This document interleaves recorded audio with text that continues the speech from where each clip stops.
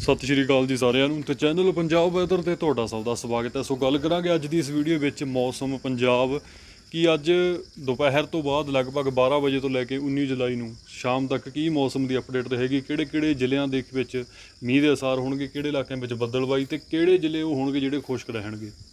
ਸੋ ਜਿਵੇਂ ਕਿ ਆਪਾਂ ਕੱਲ ਤੋਂ ਦੱਸਦੇ ਆ ਰਹੇ ਹਾਂ ਕਿ ਜਿਹੜਾ ਪੰਜਾਬ ਦੇ ਵਿੱਚ ਮੀਂਹਾਂ ਦਾ ਦੌਰ ਸ਼ੁਰੂ ਹੋਣ ਜਾ ਰਿਹਾ, ਇਹਦੇ ਵਿੱਚ ਮੇਨ ਤੌਰ ਤੇ ਪੰਜਾਬ ਦੇ ਪੂਰਬੀ ਜਿਹੜੇ ਇਲਾਕੇ ਹੋਣਗੇ, ਉਹ ਜ਼ਿਆਦਾ ਪ੍ਰਭਾਵਿਤ ਹੋਣਗੇ। ਜੇਕਰ ਆਪਾਂ ਪੰਜਾਬ ਨੂੰ ਪੱਛਮ ਅਤੇ ਪੂਰਬ ਦੋ ਇਲਾਕਿਆਂ ਦੇ ਵਿੱਚ ਵੰਡ ਕੇ ਦੇਖੀਏ ਤਾਂ ਜਿਹੜੇ ਮੱਧ ਤੋਂ ਲੈ ਕੇ ਪੂਰਬ ਦੇ ਇਲਾਕੇ ਪੈ ਜਾਂਦੇ ਨੇ, ਤਾਂ ਉਹਨਾਂ ਹਿੱਸਿਆਂ ਵਿੱਚ ਜਿਹੜਾ ਮੀਂਹ ਦਾ ਦੌਰ ਜਿਹੜਾ ਜ਼ਿਆਦਾ ਦੇਖਣ ਨੂੰ ਮਿਲੂਗਾ ਪੱਛਮੀ ਇਲਾਕਿਆਂ ਦੇ ਮੁਕਾਬਲੇ।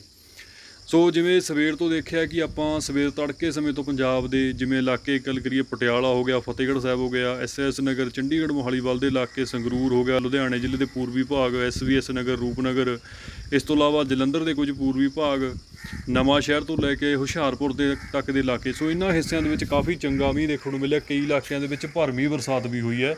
ਜਿਵੇਂ ਕਿ ਆਪਾਂ ਪਹਿਲਾਂ ਵੀ ਜਾਣਕਾਰੀ ਤੁਹਾਡੇ ਨਾਲ ਸਾਂਝੀ ਕੀਤੀ ਸੀ। ਤਾਂ ਉਸ ਮੁਤਾਬਕ ਇਹਨਾਂ ਇਲਾਕਿਆਂ ਦੇ ਵਿੱਚ ਕਾਫੀ ਚੰਗਾ ਮੀਂਹ ਜਿਹੜਾ ਹੁਣ ਦੁਪਹਿਰ ਤੱਕ ਲਗਭਗ ਦਰਜ ਕੀਤਾ ਜਾ ਚੁੱਕਿਆ ਤੇ ਹਾਲੇ ਵੀ ਜਿਹੜੀ ਬਰਸਾਤ ਆ, ਉਹ ਜਾਰੀ ਹੈ।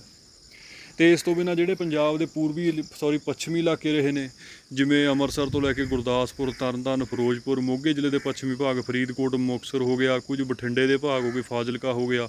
ਸੋ ਇਹਨਾਂ ਇਲਾਕਿਆਂ ਦੇ ਵਿੱਚ ਬਦਲਵਾਈ ਹਲਕੀ ਟੁੱਟਵੀਂ ਜਿਹੀ ਬਣੀ ਹੋਈ ਹੈ, ਕੁਝ ਹਿੱਸਿਆਂ ਵਿੱਚ ਥੋੜੀ ਬਹੁਤ ਬੂੰਦਾਬਾਂਦੀ ਹੋਈ ਹੈ, ਕੋਈ ਜ਼ਿਆਦਾ ਵੱਡਾ ਜਿਹੜਾ ਚੰਗਾ ਮੀਂਹ ਇਹਨਾਂ ਇਲਾਕਿਆਂ ਵਿੱਚ ਦੇਖਣ ਨੂੰ ਨਹੀਂ ਮਿਲਿਆ ਹੈ।